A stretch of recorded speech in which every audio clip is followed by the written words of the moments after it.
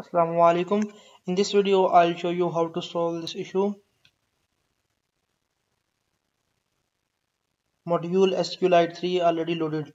So this is error showing in mostly super of the uh, sites. So how to solve this?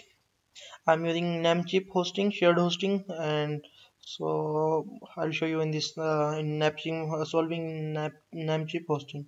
So let's start. If you are new to my channel, subscribe the channel, like the video, log into your cPanel and go to set PHP versions.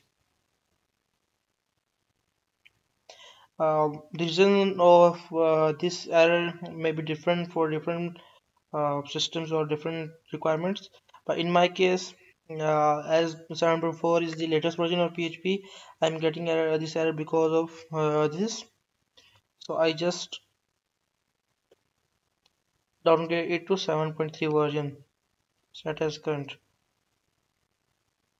And this solved my issue as I showed to you. So you can see the issue is solved so good luck guys. If you have any curious suggestion feel free to comment below. Subscribe the channel like the video